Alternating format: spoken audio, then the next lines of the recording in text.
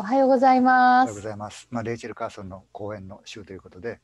まあ、あの僕自身の環境問題と公害問題のあの歴史を振り返って見てるんですけれども、あの実際僕らが理系なんですね生物学あるいは生態学っていうのをあの専攻しに行ったんですけれどもやっぱり僕の中では環境問題公害問題っていうのはテクノロジーの問題だったんです。なんそのそのテクノロジーが大きく広がって自然そのものを扱うテクノロジーとしてなんとかならないかと思って入ったんですけども世の中がそんなふうにあの、まあ、テクノロジーの問題から生き方の問題になってくるともうテクノロジーが面白くなくなってくるんですよねなんか。あの 生き方の問題って言ってるから結局これはもうジャーナリズムである政治の問題なのに川の中の虫を数えたりとか魚を取ってきたりとかいうことやってたって何も変わらんぞって気分がこうなってくるわけなんですよ。でレイチェル・カーソンも読みその他の人のエコロジーのエコロジーって言葉がやっとあの政治的な言葉としてできてきた頃の話であのこの間もちょっとあの新聞記者の方と話してて、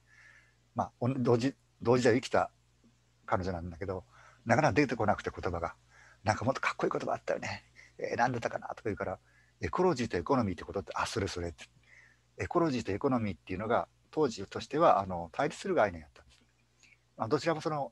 ギリシャ語のオイコスっていう家庭内っていうことをこう語源に持つんですけどもなんとなくエコエコノミーの方をやるとエコロジーの方がおろそかになるとかエコロジーやるとエコノミーがダメになるとかそういう、まあ、対立的に捉えられたんですけども今違いますよね結構エコなことをやらないとエコノミー的にも経済的にもダメだっていうふうな風潮になってきてますけどもそういう風潮になる、まあ、直前ぐらいかな僕らがいた若い頃過ごした時代っていうのはだからあの大学のサークルでも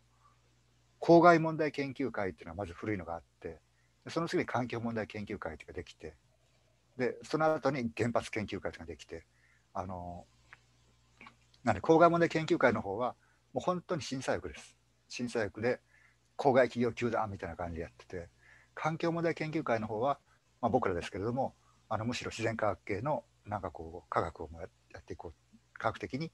なんか測定したりなんだりってことをやっていこうってことをやってたんですけどもで、まあ、原発研っていうのはこれはもう完全に審査役だったんですで僕らの環境問題研究会の中でも僕らの上の世代は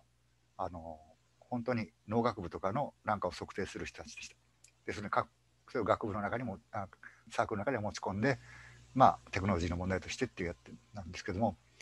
まあ、僕からちょっと方針転換してそうじゃないんだと。あのやっぱり政治っていうか運動とかいうことも視野に入れていかなきゃいけないんじゃないかってことであの農薬の空中散布に反対するあのお母さんたちの会なんかとも連絡を取り合って、まあ、あの市民運動的な視点であの環境問題っていうのをこう取り上げて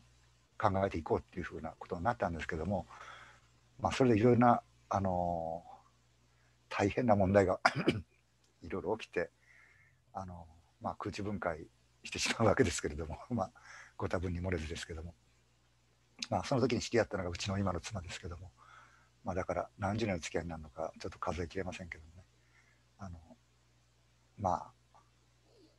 なんていうのか、まあ、環境問題的なものがこう表に出てくる時代でした。だからあの公害問題というのを引きずりながら環境問題でもまだエコロジーという言葉はほとんど一般化していない。もう言って何でしょうそれって感じでエコっていう言葉を言葉さえなかった。なんか節約運動とかゴミ削減とかそんな感じでしか捉えられてなかった時に、まあ、エコロジーっていう概念を、